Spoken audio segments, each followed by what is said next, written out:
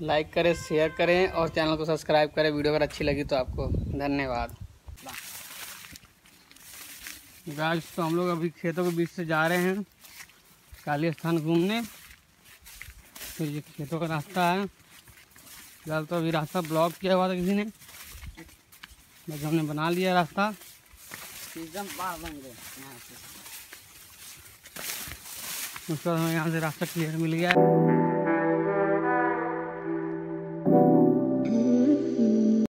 तो गाइस हम आ चुके हैं काली स्थान में। तो आपको दिखाते हैं दर्शन। पहला स्थान आपको दिखाते हैं। हम्म, यहीं खोल दें। अरे खाली पर बने का बड़ो।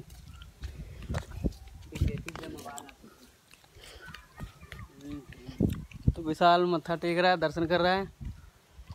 तो आइए आपको दिखाते हैं। ये अपना चमर देवी मंदिर है। और ये झूला लगा हुआ है यहाँ पे। ये भी, भी इसका नीम का पेड़ है।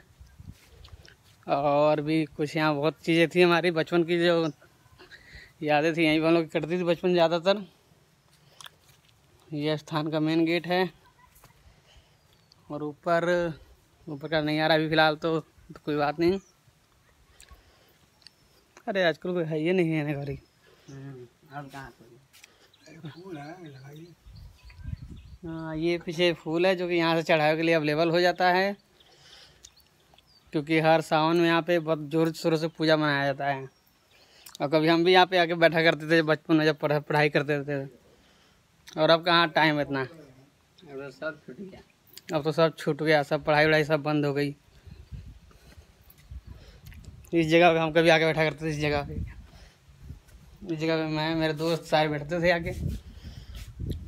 ये मंदिर है।